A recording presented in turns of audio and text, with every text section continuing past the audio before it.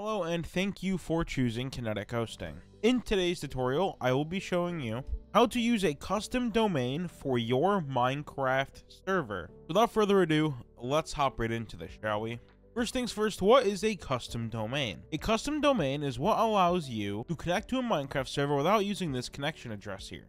So for an example, if we look at the Hypixel network, their IP is mc.hypixel.net. So we can have our own domain just like how Hypixel does, so it's easier for your community to remember your server's IP address. So let's go ahead and show you how to link everything up here. First things first, what we will be doing is copying this port here. So right click and copy.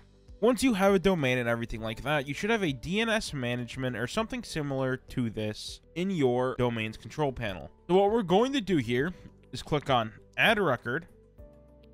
The type will be SRV. So just go ahead and find that. The name required for Minecraft is underscore Minecraft dot underscore TCP dot. And now you can have this be whatever you'd like here. For an example, I would just be using the word lobby. But like I said, this could be MC, this could be play, this could be anything you want. So since I've put lobby, for me to connect to this server, it will now be lobby.newt.xyz. For the priority and weight, make sure to set these both to one, although you can set them to whatever you'd prefer. For the TTL here, make sure this is set to auto. And then for the port, make sure sure this is your server's port, we've already copied this. Now for the target, this could be a little bit tricky, but usually this method works out pretty well. Head back to your server's overview page and you're going to see the node here. So mine is CA-I5-A. So what we're going to do here is we're going to put CA-I5-A and then put dot kinetic panel.net. I will also make a note here for this target category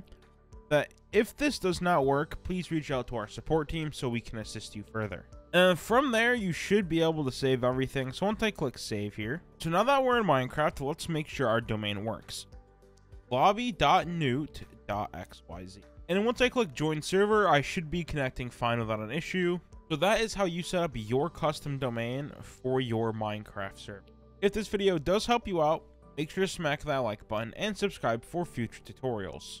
Thank you so much for choosing Kinetic Hosting and watching this video, and we will see you around.